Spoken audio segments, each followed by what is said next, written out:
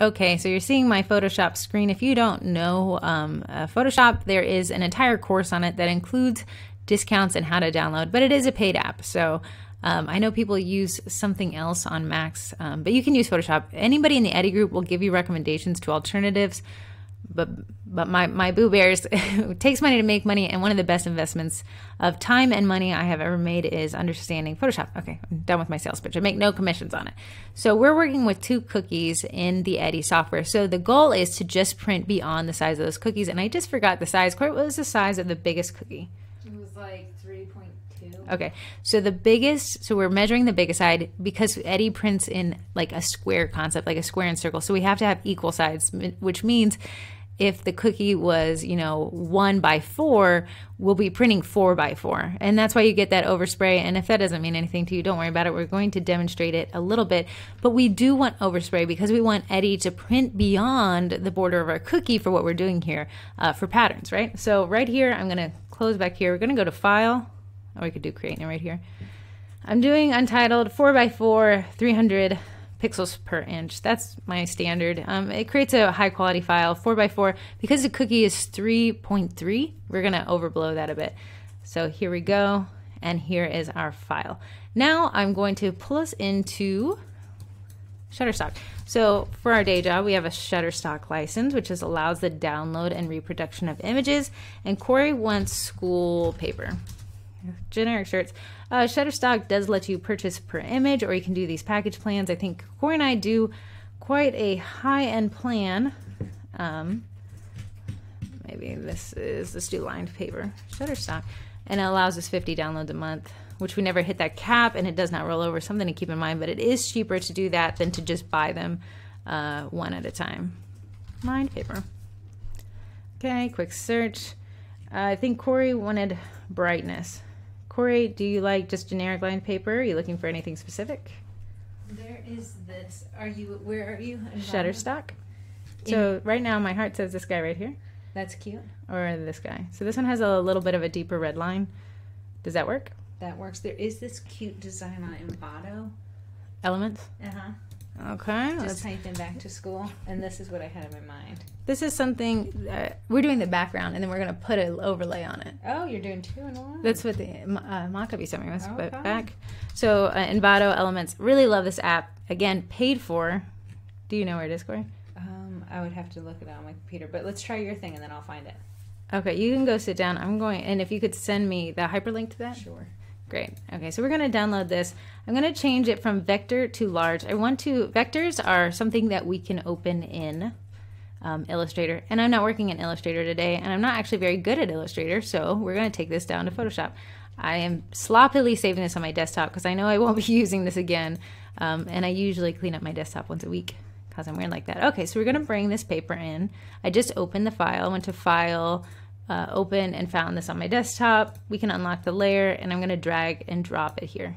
And see, uh, obviously it's way too large. this is a very large image. So on my computer, I'm going to zoom out. If you don't want to use, darn it, I don't know what I'm doing. So I, my, my, the recording software is covering up my little dock here. So I'm pulling them out.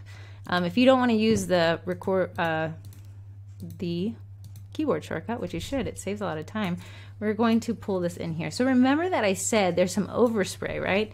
Um, so let us make sure. This is 4 by 4 and Corrie said that the uh, cookie was 3.3. So let's use our guides. So we're going to have bleed lines, number of columns, and let's do the margin. Uh, so we're at 4. Let me just pull a calculator off here to the side. Excuse me. Excuse me. This isn't scientific, but hey, why why struggle here? I don't want you guys to see my math. That's why I pulled it off to the left. So we have four inches and then 3.3 roughly. So we need a 0.7 margin. And we're gonna just copy and paste this. Really, I'm looking for more of this left and right margin. So we definitely have this um, red line here. I kind of want to move them to the center. And I know like you're saying, oh no, look, I have some dead white space. There's some many ways to fix this, but we're just going to duplicate this center section right here. And I added it and I can drag and drop it here. So that ensures that this red line is going to still be in my cookie. Because like I said, the cookie is height, its width is not um, as wide. So the width I didn't think we measured it, but I want this to be more in the center of my cookie. I definitely want the red line that says, hey, this is paper. Corrie, did you send me that link? I sent you one. I sent you one, yeah. To which email? To Heather at Target. My work email. I tell you guys, I love me some Gmail, and uh, I have many of them. So let me just pull up my work, and Corrie sent me a link to sh- uh, to that Envato thing. Actually, found it on Shutterstock. Shutterstock. Well, I haven't gotten it yet, so we got it. Okay. I'm gonna just download this real quick off your guys. I'm gonna pull this back into your view screen, and again, we're gonna change vector to large. I don't want to work in vectors, but Corrie actually has ha- this has line paper in the background. Corrie, okay. What, what would you like? Would you like the line paper that you have here, or would you like this graphic overlay on top of this paper? So you have the off white. My heart does not mind. Which one do you prefer? Uh, I would like whiter and then the graphic light on it. Okay, she's pushing us into Illustrator, guys. I want you to notice that I am downloading the vector file now, and I am going to show you, and I'm going to trip through this because this is the only way I know how to use Illustrator is to absolutely trip over myself, but it works. Now, if you guys have paid attention to that, my cat's leaving. If you've paid attention to the Photoshop course, you'll understand that I pay for the entire Adobe suite using a student discount.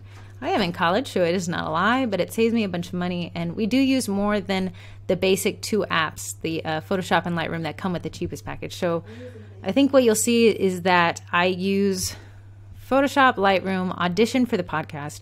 I use Premiere Pro for videos, and I use um, After Effects for some things. And then sometimes when I am desperate, I will use Illustrator, which we are doing right now. Okay, same deal, uh, just a little bit of a different interface, but we're gonna go to File, Open, and find this guy on my desktop. Where did we save you? Now, the EPS files, which you'll see some people talk about when they have logo files, this is what this is. And a vector file, I'm going to press Control Z on my, okay, that doesn't work in this. Control Z. There you go. Control, Control Zero uh, centers the image. So what we want to do is we want to see if we can separate these things. Again, I'm not the file designer, so we may not be able to do that, but let's ungroup and see what happens. When I ungroup, it actually, wow, it really, um, it really just ungroups all of this. Let's see if we can delete this background. Oh goodness. This is when you realize that you're not actually good at something. Is when you have to do something out of your element. Let's let's get rid of these. So I'm gonna just get rid. Corrie said she wanted it wider. Why we can't do? I'm not gonna use that other image. I'm gonna delete this part. You gotta be kidding me. I'm gonna pause this, guys. I'll be right back. No one should have to sit through this with me. Give me just a second. I'm back. We abandoned the last one. See, that's the thing. I really need to learn Illustrator, but when you don't, you are stuck to the limitations of your own brain. But anyways, Corrie had found another file she liked. Thank goodness. We're gonna export as, and I'm gonna export this as a PNG. I'm gonna say school thing. I don't know. Some that's not the right name. And I want to make sure that my background is transparent. We're gonna see what that looks like in Photoshop. Again, I'm not the file creator, so I'm kind of flying blind here. Where's my school thing? Who's working on it? Working on the export. Come on, buddy. And I can see my um, crazy desktop. Here we go. School thing opens. And do we have a transparent background? I know the images themselves aren't transparent, and I don't prefer that. So let's see if we can do something about this. I know a little extra, little Photoshop. I know you're like, I just want to see you put on the Eddie. Hush. We are still working.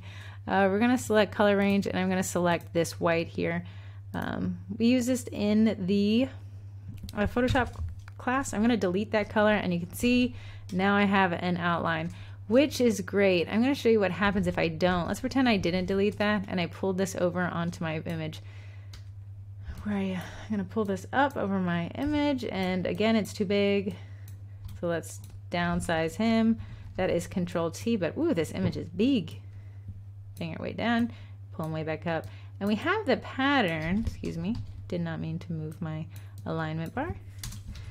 But I want to show you something. So he's resizing. Give him just a second to think. I have a lot of stuff open on my computer. We're going to control zero to bring it in. And I want you to see that the lines don't go through the image, which is actually probably cuter now that I look at it. But let us go through here and remove that. I'm going to press Control Shift Z. Oh, man, I messed it up when I did that. Anyways, go to select color range. Excuse me. Excuse me. Select color range. Select here. Okay, it selected the white in the image, which is the only color outside of black. And now we have just this print. And I'm going to show you the difference of these two. Again, we're working at JPEG, so it has a transparent background. Drop the size of this way down, bring this way up. And I'm going to show you the difference of these two. Give me a second to think. And we're going to press Control 0 to bring to size. This is my original, uh, the one with the things. And here's my other option is you see that there's lines through it. Now looking at this, I made the decision that I prefer the solid image. I like this a lot better. It looks a lot cleaner. We have the red in here as a little spark of red. Corrie, do you want any colors? you want to keep it pretty simple? Keep it pretty simple. Come here real quick and let me see if we can interest you in some color. So right, right here, we only have one single color. So I can ask Corrie, using the fill tool, if she would like to add a paintbrush red or a tube of red, or maybe we could just add this red, and it's going to just insert into this image a little bit of red. And now it's up to you if you wanted it. I want to know. okay, is there anything else you'd like to re- be um, red? I like that we're keeping them spaced out. Maybe this right here would be kind of cute. Red. Um, Give me some. Could you do? Oh, that's good.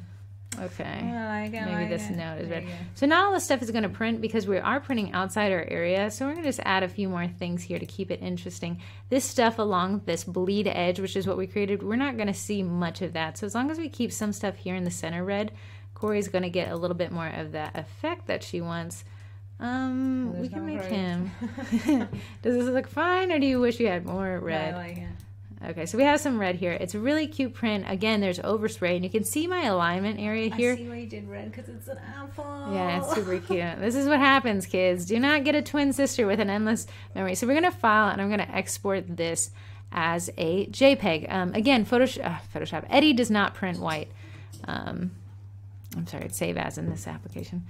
I'm gonna save him as a JPEG. Eddie and then I like to put my 4x4 so future me can reference. And we're going to do Apple print. Okay, hold on tight because next up I'm going to bring you guys into uh, Corrie's computer. Same me though, me. And we're going to bring you into the Blender. Uh, what's it called? Bartender. Bartender software that comes with your Eddie. Okay, see you in a second.